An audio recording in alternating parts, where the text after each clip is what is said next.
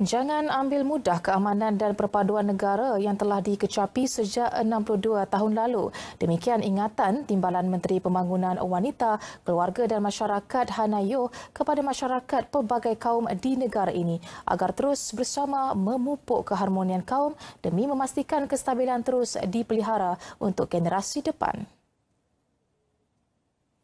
Untuk uh, Hari Kebangsaan yang akan datang, saya berharap uh, warga Malaysia kita jangan uh, um, how do I say uh, we don't take for granted Okay, don't take for granted unity yang kita ada sekarang ini dan kita mesti pertahankan perpaduan ini bukan untuk generasi kita saja tapi untuk masa depan anak kita. Uh, kalau kita lihat negara-negara lain, kalau perpaduan itu tak ada, uh, kacau, uh, kekacauan berlaku, kanak-kanak kita yang akan uh, menjadi mangsa lah bila negara tidak aman.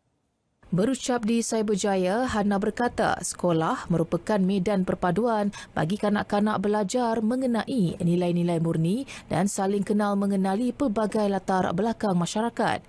Justru pelbagai program perpaduan boleh diadakan oleh pihak sekolah secara tidak langsung. Jelasnya sebagai contoh program Karnival Pendidikan Komuniti yang melibatkan 32 buah sekolah di Parlimen Segambut dan Seputih mampu memberi pendedahan kepada pelajar erti kepelbagaian kaum kaum dan perpaduan. Terdahulu, Karnival Pendidikan Komuniti Pelibatan Ibu Bapa, Komuniti dan Swasta dan Eksplorasi MMU diadakan di Universiti Multimedia Cyberjaya.